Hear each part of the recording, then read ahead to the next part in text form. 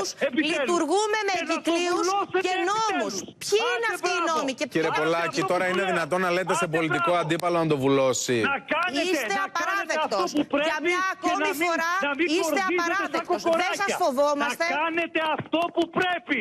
Και σιωπή. Φωτιά έχουν βάλει στο πολιτικό σκηνικό οι απαράδεκτες εκφράσεις που χρησιμοποίησε ο βουλευτής του ΣΥΡΙΖΑ Παύλος Πολάκης για να επιτεθεί στη γραμματέα της Νέας Δημοκρατίας Μαρία Σιρεγγέλα. Έχει κάτι για να. Και να πάει να κάνει κάποια δουλειά γιατί δεν ξέρει. Με ρωτάει ποιο φεκ.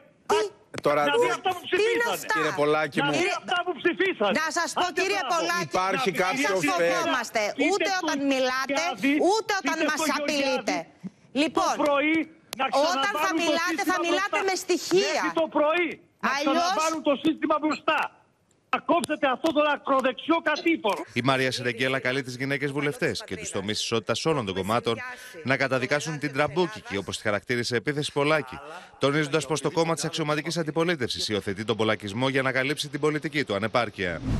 Η ύβρις, ο μισογυνισμός και οι τοξικές επιθέσεις δεν έχουν θέση όχι μόνο στη Βουλή ή στην πολιτική αρένα, αλλά κυρίως στην κοινωνία. Πάντως, ας μην ξεχνούν και ο κύριος Πολάκης και ο ΣΥΡΙΖΑ ότι στη Νέα Δημοκρατία ποτέ δεν φοβηθήκαμε, ούτε πρόκειται να φοβηθούμε, θρασύδειλους πολιτικούς τραμπούκους. Τη Ζητάμε, διαγραφή του κύριου ζητάμε Πολάκη. από τον κύριο Κασελάκη να πάρει θέση και σε κάθε περίπτωση βέβαια να διαγράψει τον κύριο Πολάκη. Αυτό το αίτημα έχει υποβληθεί κανένα 15 φορές τα τελευταία χρόνια από τον κάθε κυβερνητικό εκπρόσωπο ή εκπρόσωπο της Νέας Δημοκρατίας. Πάντως ο Παύλος Πολάκης εμφανίστηκε αμετανόητος, τονίζοντας πως δεν παίρνει λέξη πίσω.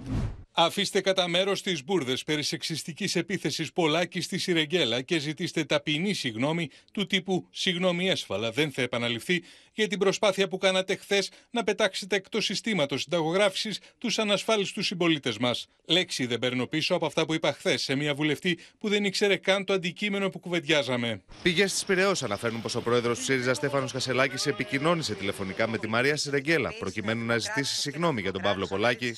Μια συγγνώμη ωστόσο που τη χαρακτηρίζουν υποκριτική από τη στιγμή που ο βουλευτής του ΣΥΡΙΖΑ επιμένει.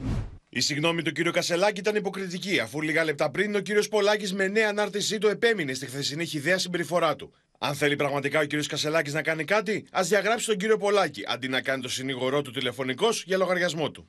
Αφορμή για την πρωτοφανή επίθεση στάθηκαν οι ισχυρισμοί του Παύλου Πολάκη πως εκδόθηκε απόφαση από το Υπουργείο Υγείας για τη διακοπή συνταγογράφησης και πρόσβαση των ανασφάλιστων σε δημόσιες δομές υγείας.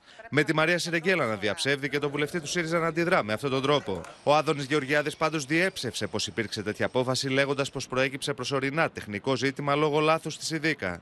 Αντί να κάτσει να γίνει μια συζήτηση, τι έγινε κύριε Υπουργέ της Υγείας, γιατί αυτή η ανασφάλιση βρήκε να κάτω. Και να μπορώ εγώ να εξηγήσω, παιδιά, τεχνικό λάθος δίκα, δεν έχω αλλάξει καμία απόφαση. Και να προχωρήσει ο διάλογο και να το φτιάξουμε το πρόβλημα και να μπορούν οι άνθρωποι να τα φαρμακά. Θα αρχίζουμε.